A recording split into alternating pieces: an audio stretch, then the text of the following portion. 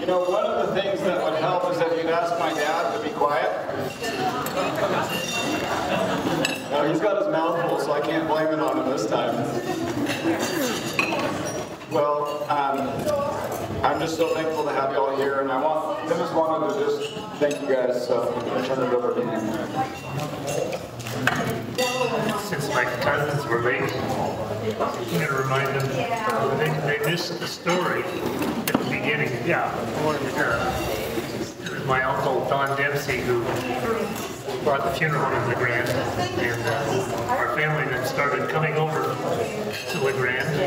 How old were you girls? Um, five and, four and five. They were four and five years old.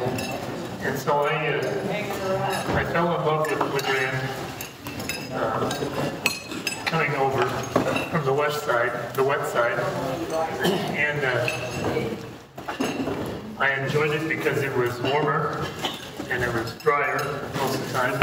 And when I'd come over and visit in the winter times, we'd have some snow. And uh, you really look forward to snow on the west side because it didn't happen very often. So uh, I'm telling you the rest of this story because they didn't hear it. So you, you heard, well, I guess there's a few guests here. So, um, so that was, I was about 11. And uh, through the years, one day I was riding with my parents in the back seat of their uh, station wagon. I was 15, and uh, I was on the Banfield Freeway. Those of you who live in Portland. And I remember this very vividly. I said, uh, when I grew up, to be only seven years later, I'm going to move to La Grande, have my own business, and have an airplane. And uh, all of those things happened. And uh, I guess if my uncle had never moved here, we wouldn't be having this conversation.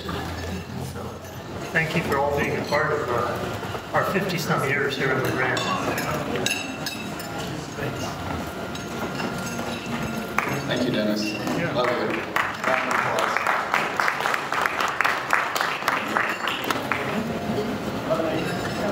So I, uh, I wanted to share a little at the reception about Linda's impact on my life. Um, for one, I knew some of you weren't going to be able to be at the service, so I didn't want it to just be a meal without it being about Linda.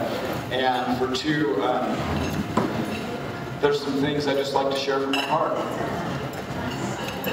Linda and Dennis opened Nature's Pantry 38 years ago on July 1, 1986. This, by the way, my name is Blake Bars. Um, I uh, got brought in. I was blessed to have Dennis and Linda bring me into their business and teach me the business. And then my wife and I, Misty, bought the business recently from them. Um, but the store opened, was founded and started by Dennis and Linda in 1986. This was after they had sold a much more lucrative nursing home business. You see, in the nursing home business, Linda had been witnessing the poor quality of life that poor health choices led to. She had developed a passion for leading people to vibrant health naturally, in large part because of a book she read called The Ministry of Healing. Eventually, she decided it would be more beneficial to help people earlier in their lives. After some thought and much prayer, Linda and Dennis decided they were willing to sell the nursing home business. But they wanted to be sure it was God's will. So they told God that they would sell if He would send them a buyer. Not long later, a hospital administrator from the west side, I think he was from the Dalles, came inquiring if they were interested in selling. After some conversations and an agreement that the new owners, corporate owners, would not fire long-standing employees in order to hire younger, cheaper workers, a deal was made and Nature's Pantry was born. It started as a tiny little lighting shop, and in those early years, they didn't take much income, if any. Slowly over time, I think it, actually, I think in those years, Dennis actually did some uh, paramedic work where he was in an ambulance and would. Um, Dennis Dennis, is that right? You were a paramedic? You were in the 70s, that was in the 70s. So he supported the family somehow uh, later years when this business was going because it certainly wasn't supporting the family.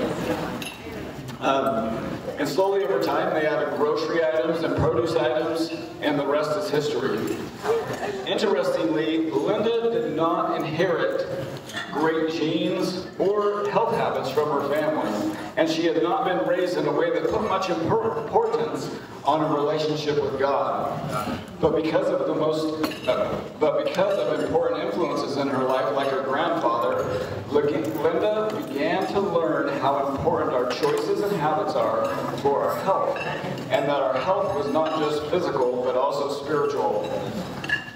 Linda developed a love for God, a love for people, and a passion for teaching natural health principles that can, can improve our whole lives, body, mind, and soul.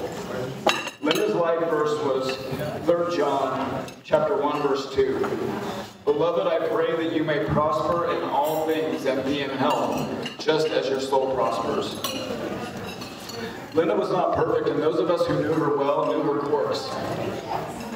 But she had a desire to share the love of her perfect Heavenly Father with those whom her life touched. Many of us in this room knew this about her and were so blessed to have had her attention as she gave us instruction for our health, listened to our struggles, and counseled us with wisdom. Linda could be blunt, but almost always had a loving countenance, countenance and an occasional wry smile.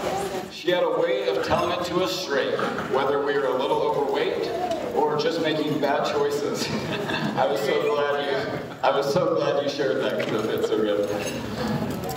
But she did it, somehow she could do it while making us feel loved and not judged. I haven't been to Nature's Pantry since I was a kid.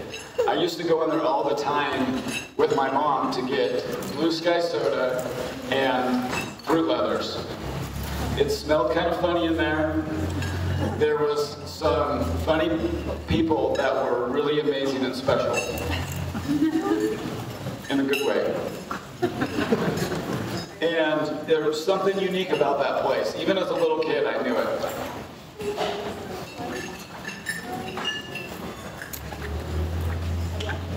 But when I had gone back, I was living wild, and I was, I needed to get clean for a UA, which is a drug test, for those of you who don't know the acronym. So I went to Nature's Pantry to get some Sunny 7, which some friends of mine told me really worked. On my way to the checkout, Linda stopped me. She said, oh, hello, Blake, how are you? Because she'd known me since a baby, since I was in the same church as her my whole life. And she, she said, how are you, Blake? She smiled and put her hand on my shoulder and said, I can see you're taking good care of yourself. I knew she knew.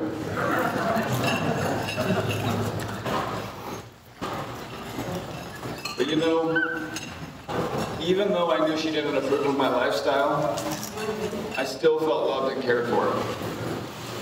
Years later, I was doing odd jobs for Dennis in for my dad, who had his Aflac office in Dennis's building. This building used to be a Chinese restaurant. I think it was Fong's. And um, I was in the back doing some work, some odd jobs my dad had employed me to do. He probably didn't need me to do, but he was entertaining me, being a good dad and paying me some money to do, do things.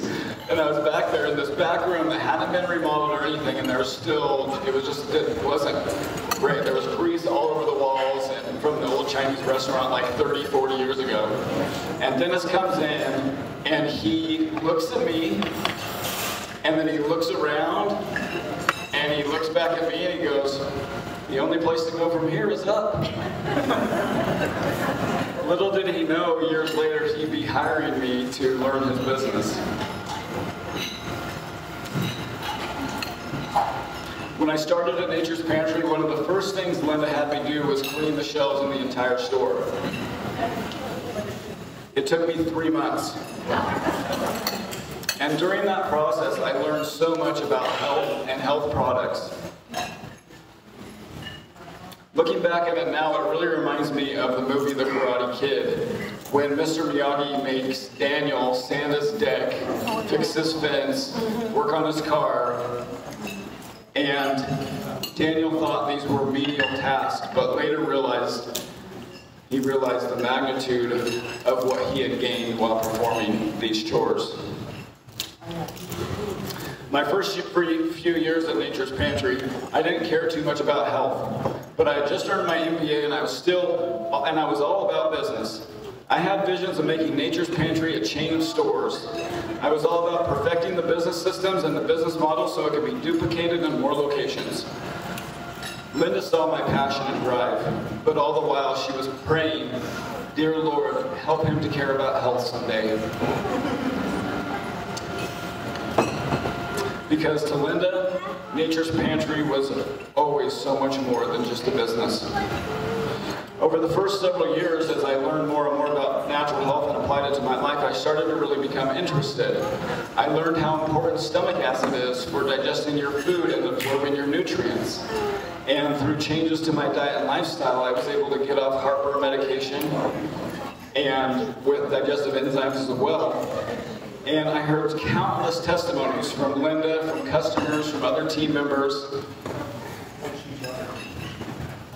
And I also learned how to boost my immune system, to put myself in a strong immune stance with diet and lifestyle, and how to beat colds with vitamins and herbs.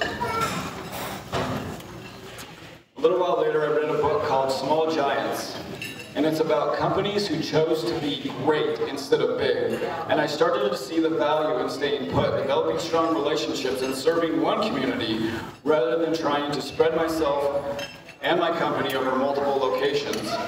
And so as Linda had done, I decided to choose principle over profit.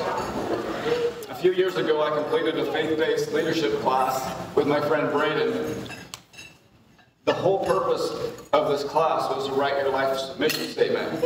And in this, the course of this project, I learned that my life verse was the same as Linda's life verse. And my life's mission was to continue her life mission. I'll be honest, in my drinking and logging days, I used to tell people I smelled like hams, beer, and wood chips.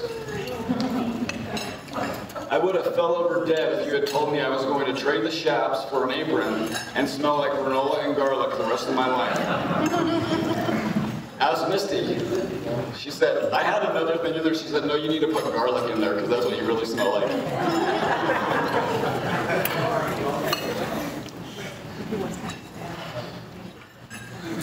But the way it came about, I was accepting of it. And actually, I was very excited in AA, we have a saying that life has a way of beating us into a state of reasonableness. And I guess you could say I had been through enough at this point in my life that I was reasonable enough. I guess sometimes God brings us a teacher when we are ready to learn the lesson. For me, Linda was one of those teachers. She taught me the natural principles of health and healing.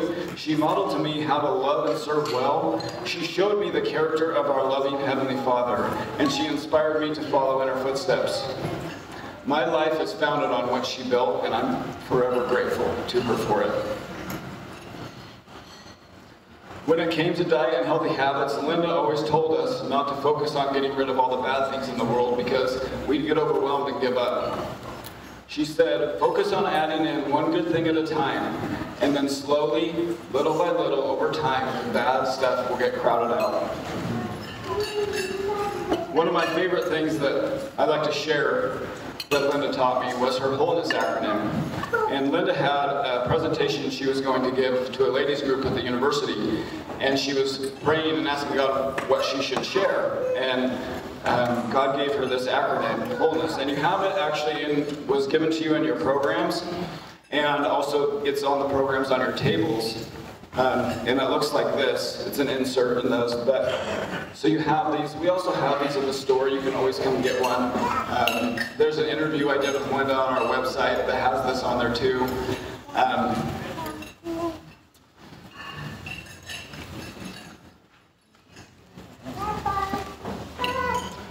But, and I don't want to go through all of it with you, but it's there. And so Linda had prayed and she got this acronym wholeness. And the W is for water, the H is for healthy habits, the O is for outside air, the L is for love, the E is for exercise and elimination.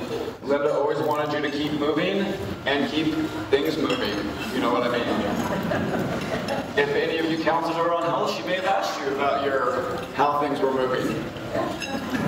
N is for nutrition, E for endorphins, S for sunshine, and S for sleep. You know, these, these basic health principles are things we all know, but we don't all put into practice. Furthermore, we have come to forget or just disbelieve the importance and power of these principles. In our world today, we like fast food and quick fixes. We tend to overlook the basics of health and go right to the high-tech facility or latest drug or surgical procedure that costs thousands and requires high-end insurance. We focus on treating just the physical symptoms and we often don't look for the underlying causes. Linda was not opposed to medical advancement, but she believed in treating the whole person, body, mind, and soul. She would agree with Plato, who said, you ought not attempt to heal the body without treating also the soul. Linda would remind us that ultimately our healing doesn't come from human hands, but that God is the healer of our souls. And in regards to holistic health, she taught us that some of the most powerful healing mechanisms that God has given us are free. Things like deep breathing, sunshine, fresh air, water, sleep, exercise, stretching, herbs, plants, time in nature, self-control, fasting, solitude, social interaction, human touch, hugs, smiles, forgiveness, positive thinking, gratitude, prayer, generosity, charity, faith, hope, love, and the gift of salvation, to name a few. And while these simple and powerful health principles are free, it does take effort and discipline on our part to reap the fruit of their practice. Isn't it ironic that we are in an era where we are having in an era where we are having to relearn basic human health skills like breathing, walking, sleeping, loving, drinking clean water, and eating real food. I've heard it said that hope is two things the will to live and the way to live. The will to live without the way to live is just a wish. Friends, Linda was in the business of hope. She reminded us of what it is to be human. She taught us how to live. Linda would want us to learn how to live by these principles so that we could reach the full potential, the full human potential and purpose that God made us for. She would want us to live in, in the present and love and serve well, but she would not want us to focus so much on our temporary bodies that we lose sight of things with eternal value. Linda would tell us that in this broken world, even a life lived well is cut short. Yes, our health choices will very much affect our quality of life and how well we can execute our purpose. But in the end, even when we eat right, exercise, and answer the call God puts on our lives, we're still going to face death. Friends, this is why we need Jesus. There is no diet, there is no exercise, there is no medical advancement, there is no cure for sin and death. Nothing from our own hands or our own works or our own strength can save us. Only Jesus. Amen. The gift of salvation cannot be earned, it can only be accepted, for it is by grace, through faith, we are saved. And it is because God loves us so much that he sent his son Jesus to provide the way for us so that whoever believes in him shall not perish, but have eternal life. Beloved, our life here is temporary. And although we get a glimpse of God's beauty and the way things were meant to be through people like Linda, all too often we're reminded that the beauty in this broken place is not without pain, and this life is quickly fading, just a vapor, here today and gone tomorrow. In the book of Revelation, God promises a hope and a future where He will be with His people and He will wipe away every tear from our eyes, and there will be no more death, nor mourning, or crying, or pain, for the old order of things will have passed away, and He will make everything new. Jesus said to his disciples, Do not let your hearts be troubled. You believe in God, believe also in me. My Father's house has many rooms, and if I go and prepare a place for you, I will come back and take you to be with me, that you also may be where I am. If you don't know it yet, Jesus will prepare a room for you too. He is knocking at the door of our hearts. We must only invite him in. Friends, in closing, I pray, as Linda prayed, that you may prosper in all things and be in health, just as your soul prospers. Thank you. I just want to touch on something that Pastor Dale said in the uh, service over there. He said, Linda, and I witnessed this, focused on forgiveness and came up and through this valley, spoke to several people about that and how important that was to her. I think that leads well into the song that we're going to sing, Goodness of God. I can, I can hear Linda really in her heart singing this song um, because God is good. And you can't see forgiveness unless you see God is good. Or when you see forgiveness, you see God is good. He's merciful, He's gracious. And God has been good to their family through the years. And, and uh, so this song, I feel, would fit, fit well. Blake suggested it, Goodness of God. It's a wonderful song. And God has led this family. The story that Dennis brought up, the decisions you made to move to La Grande, now that changed the whole course of, of so many things. And so this song kind of brings up all through my life, God has been faithful. And that's the case for Linda and Dennis and all their family. And the reason why she uh, gave us the, the book with the, the songs in it and the hymns, that uh, was because we led music at the Seventh Adventist Church for about 30 years. So um, we were blessed to be able to do that. And uh, you know this song, uh, The Goodness of God, if you do, please join us. We don't want to just sing it by ourselves. It's a hard one to just sit and listen to anyway.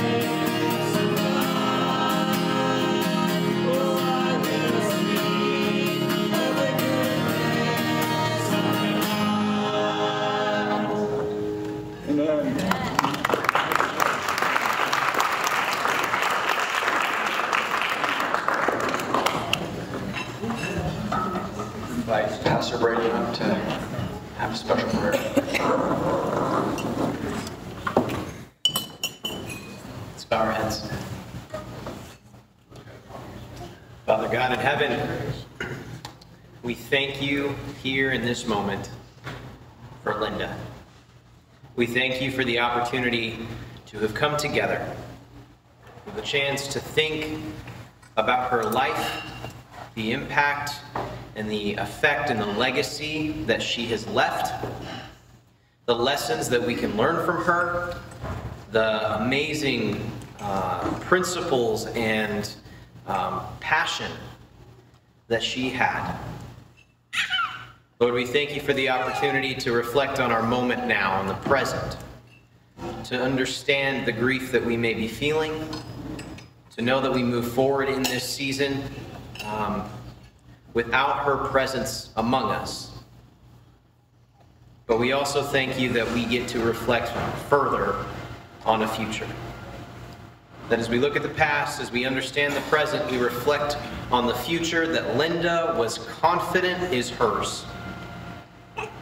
That the disease and um, pain and everything else that she was afflicted with at the end is over, and when she comes up out of that grave, she will be whole and remade and renewed she will stand with all the strength and more that she ever had, and she will look up into the skies, and she will see her Savior coming in the clouds to praise him in his presence forevermore. And we praise you, Lord, tonight for that.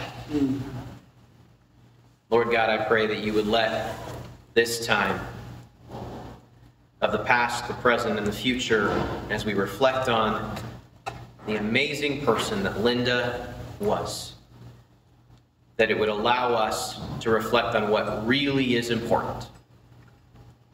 To make good decisions so that we can live the best life that you've called us to live in the present, but to also commit ourselves to you so that there comes a day for each of us when we can be re- reunited with our Savior. Thank you for this time. Thank you for the opportunity to share the way that we love Linda and the way she loved us and I pray that you be with the family as they move forward into this next season. Walk with them, comfort them, and love them well.